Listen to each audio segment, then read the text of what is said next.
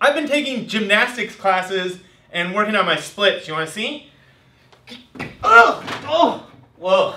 Uh, still got, still got some work to do. Welcome to GMAT Tuesdays. My name is Kevin, and today we're working on another tip, uh, tip number three for sentence correction. And the tip is solve with splits, but not the splits that I just did, different types of splits. Um, let me get my pen. So the key to sentence correction, one of the keys I should say, not the key, but one of the keys is to split the answers and eliminate groups. So you're always going to be able to split up your answers into different groups Figure out which group is wrong and get rid of it. This is super efficient because it means you don't have to read everything that's there. You just find what's different in the answer choices, group them together based on the differences or their similarities, and then eliminate the wrong groups. Boom, super easy.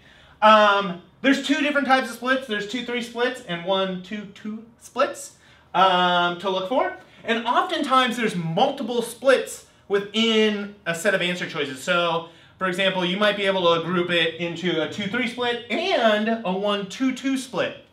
I would say if you split it into 2-3 and you don't see what might be wrong, go to the other split and see if you can find something that's wrong with that, the other split. Um, and then you can go back to your 2-3 and work on uh, what is right and what is not right. To illustrate this point, I'm going to give you just the answer choices and we're going to be able to see where the right answer is. Um, so this came from the OG 13, and it's question number 54. Hold on, let me check. Yes, question number 54, sorry. Um, and so look for differences between answer choices and similarities. So the first thing I see here is should, should, should, and then eliminate, eliminate. So I have a 2-3 split. Maybe I know that I need should in this sentence. So I would eliminate D and E very fast. Maybe I know I don't need should in this sentence. Eliminate A, B, and C, and then I'm left with D and E. Look how fast I just got to just two answer choices. Even if I just guess here, 50-50 chance of getting it right, super awesome. Um, but let's continue and look for other splits. I won't dive too deeply. So also A, B, and C, everything is the same at the very beginning. It should eliminate unneeded beds. And then the dot, dot, dot here means that it's the same. Um, and then I can see at the end, stuff is changing. And I do notice now too that my answer choices have a list. It's a list of things, three things being listed. Um, so let's see what the difference is. We have use space in other hospitals, we have other hospital space, so those two aren't the same yet. Uh, to use space in other hospitals, none of those are the same, so it's actually different, different, different. Um, and then if we continue down and look for more, we can see other hospitals space. Oh, that's the same, so B and D are the same. And then we have use to use, and here we have use space in other hospitals. So actually, here we have, I was wrong, there's a 2, one, one, one. That's not useful. Um, but let's look at what we have here and we'll probably be able to figure out what is right and what is not right. What do we know about parallelism?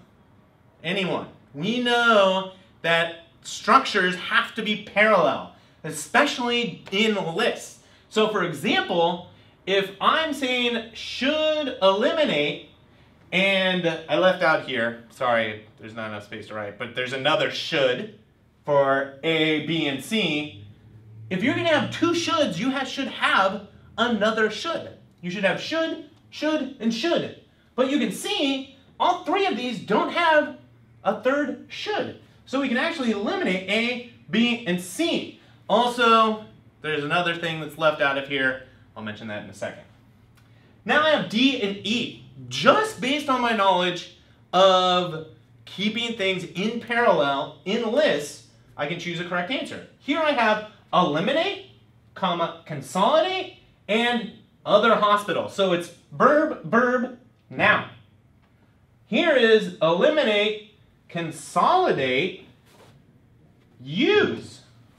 Verb, verb, verb. Oh, that's the answer. Bam. Done. The other thing that I said that I would mention is that A, B, and C, um, these are wrong as well because there's a, a word that comes before this blank, or excuse me, before the underlined place. It says we recommend, or they recommend, or I recommend. And so you wouldn't use should and recommend in the same sentence because they mean the same things and it's very redundant. Okay, so uh, we found the right answer because all we had to do was look at the answer choices and break them into groups and eliminate the wrong groups. All right, that's all I got. Uh, be excellent to the universe, and I'll see you next Tuesday.